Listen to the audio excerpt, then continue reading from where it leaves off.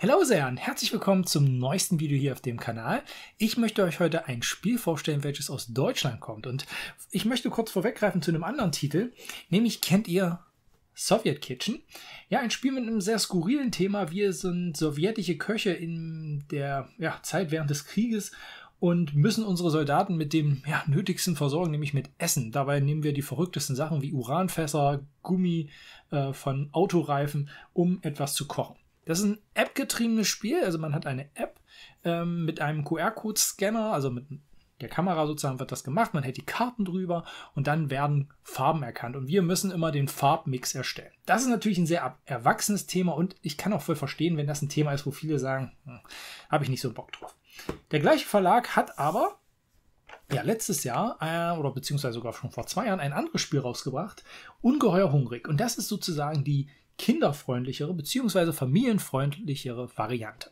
In dem Spiel geht es darum, dass wir auf Monster treffen und diese Monster haben Hunger und wir müssen diese Monster versorgen. Dabei müssen wir anhand der Karten, die wir spielen, immer den Farbmix treffen, den das Fell ähm, der Monster darstellt. Ja, wenn ihr bereit seid, ein Spiel mit einer App zu spielen, ich weiß, da gibt es viele, die sagen, nee, dann ist das kein Spiel für euch, aber wenn ihr bereit seid, eine App zu nutzen, dann kann das ein richtig schöner Titel für euch und eure Kinder.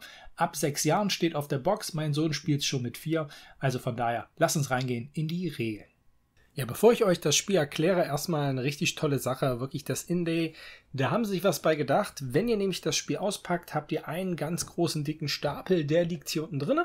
Den separiert ihr in die vier Kapitel und ganz zu Beginn legt ihr dann, ne, so wie die Symbole sind, einfach die Karten hier rein. Und wenn ihr die dann irgendwann im Spielverlauf freischaltet, dann holt ihr euch diese Karten mit dazu und alle passen dann auch hier rein. Also da hat sich wirklich jemand was gedacht. Klar könnte man sagen, man hätte in Summe die ganze Box auch kleiner halten können. Wenn man sich aber für diese Größe, ja, diese ja, Standardgröße bei diesen kleineren Spielen entscheidet, dann äh, ist das nur folgerichtig, so wie man es gemacht hat. Gut, also das ist sehr positiv. Dann nehmt ihr zu Spielbeginn die Karten Kapitel 1, Großvaters Dach, Boden.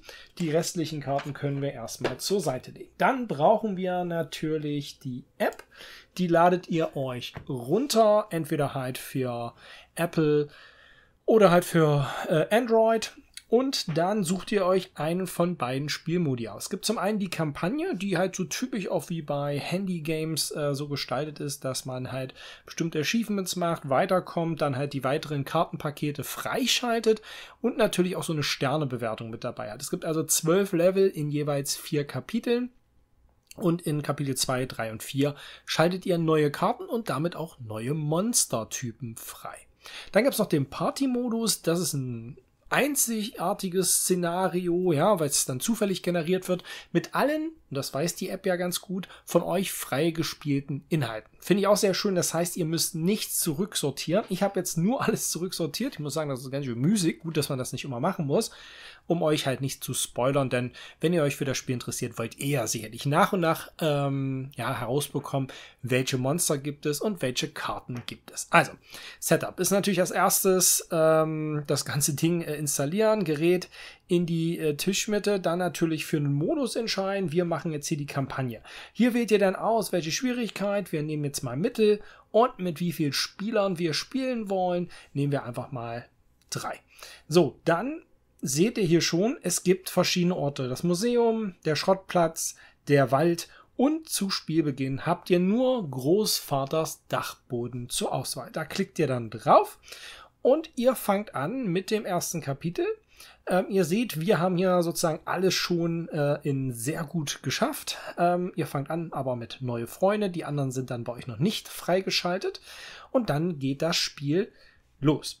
Und jetzt sagt euch die App an sich alles, was ihr jetzt wissen möchtet. Nämlich, ihr könnt hier oben auch nochmal draufklicken, mischt alle freigeschalteten Krempelkarten. Jeder erhält sechs Stück.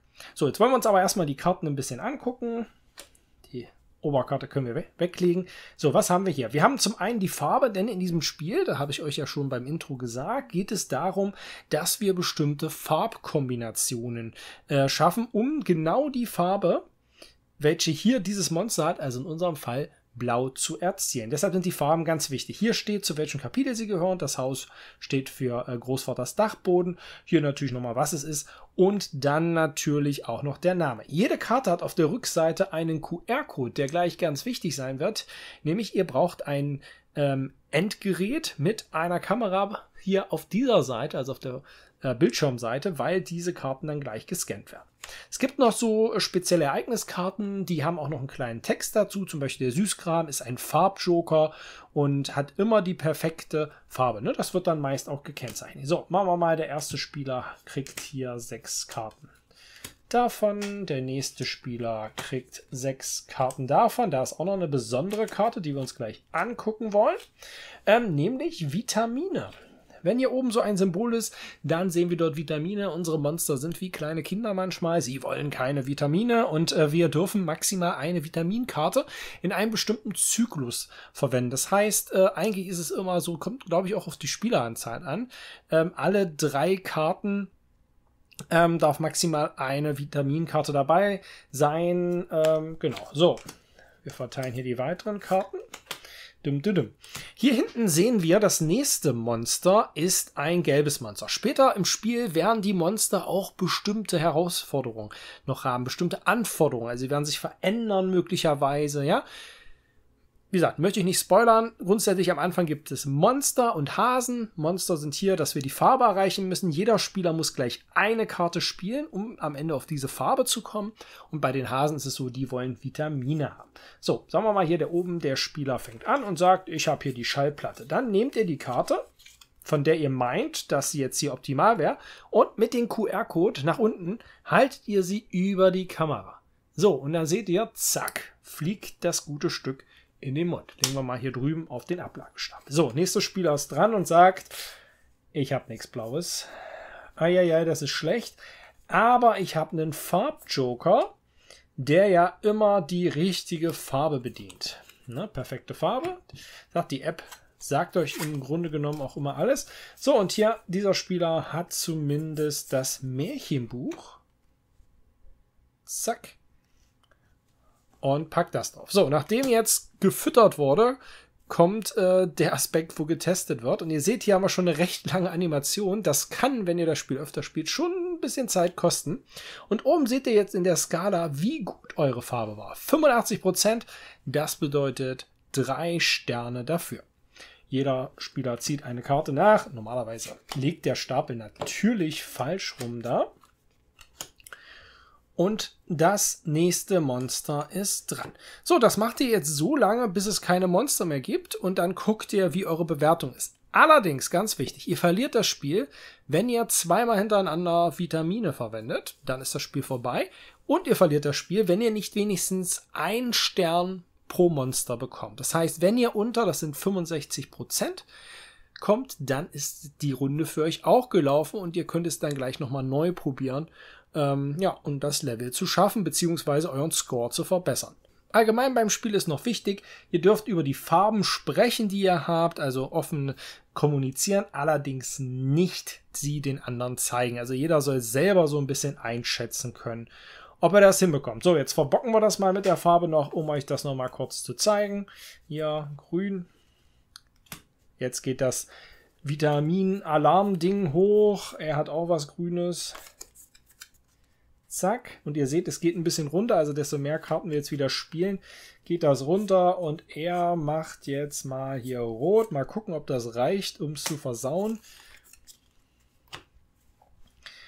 Wieder die lange Animation. Da gehen wir gleich bei den Stärken und Schwächen nochmal drauf ein. Und unsere Farbe. Ah, das wird noch reichen. Nee. Doch. 67 Prozent. Also ihr seht das, ne? wenn ihr unter dem Strich bleibt, dann habt ihr die Runde verloren. Alles klar, das waren die Regeln von Ungeheuer Hungrig. Gehen wir über zu den Stärken und Schwächen. Erster Stärkepunkt auf jeden Fall. Wir haben hier das von mir schon sehr gelobte Soviet Kitchen in einem kindgerechten Thema und dabei gleich noch mit damit verbunden, dass wir hier Farbenlehre betreiben, beziehungsweise wie man Farben miteinander mischt und was dabei rauskommt. Das sehe ich bei meinem Sohn, der halt jetzt 4 bald 5 ist und äh, der schon sehr gut daraus lernt, okay, welche Farbkombinationen ergeben welche Farbe.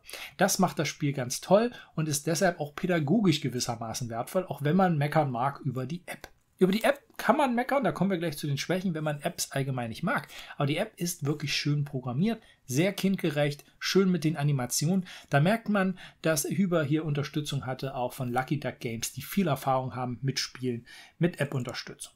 Schön finde ich auch, dass wir hier verschiedene Levels haben. Das heißt, wir fangen ganz normal an mit relativ einfachen Monstern und den Hasen, aber nach und nach werden die Monster immer komplexer und die Aufgaben werden auch schwieriger. Wir kriegen mehr Karten rein. Wir haben dadurch eine schöne Progression, dieses schöne, befriedigende Gefühl, etwas Neues erreicht zu haben, was wir halt auch aus vielen Handy-Games und auch Computerspielen kennen. Das wurde hier ganz gelungen rein portiert. Auch schön, dass man am Schwierigkeitsgrad immer individuell schieben kann.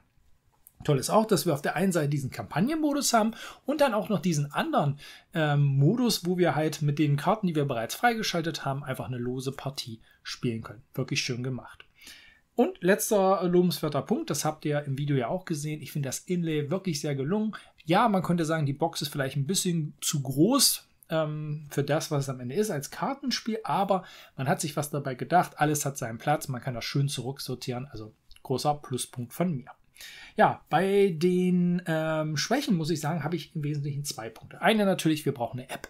Ja, das heißt, wir brauchen ein technisches Gerät. Gerade viele Brettspieler sagen, sie wollen Brettspiele spielen, um halt von den digitalen Geräten wegzukommen. Ist ein gutes Argument, verstehe ich total.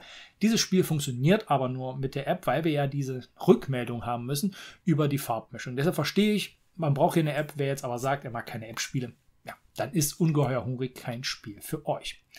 Und auf der anderen Seite muss ich sagen, das ist aber wirklich eine kleine Schwäche, ähm, weil sie nicht so stark ausgeprägt ist, wie es sich jetzt vielleicht anhört. Manchmal ist es so, dass das Spiel ähm, bei dem Farbmix, ich finde, nicht so ganz transparent darstellt, warum jetzt dieser Farbton nicht genauso passig oder nicht so annähernd passig ist wie ein anderer. Also manchmal hat man das Gefühl gehabt, wir haben die Karten gespielt und gesagt, das kann nie was werden, haben richtig hohe Bewertungen bekommen. Und manchmal haben wir die Karten, wo wir eigentlich meinten, wir sind sehr nah dran und wenn wir die Farbe dann auch, die gemischte Farbe dann gesehen haben, dass es eigentlich auch gepasst hat und haben dann teilweise die Aufgabe gar nicht erfüllt oder halt mit weniger Sternen, als wir dachten. Das passiert sehr selten, aber manchmal finde ich diese Rückgabe, also diese Rückmeldung besser gesagt an uns, uns etwas ungenau. In Summe muss ich aber sagen, ein schönes App-getriebenes Spiel, wenn ihr halt mit dieser App leben könnt, die für Kinder sehr motivierend ist, schön animiert ist und ja, wir ein kindgerechtes Soviet Kitchen haben. Also von daher eine ganz gelungene Umsetzung. Ja, das waren meine Gedanken zu Ungeheuer Hungrig. Gerne schreibt mir in die Kommentare, wenn ihr Fragen habt, Anmerkungen, Erfahrungen mit dem Spiel. Dann bin ich sehr neugierig darauf. Ich wünsche euch eine schöne Zeit. Bleibt gesund. Bis zum nächsten Mal. Ciao.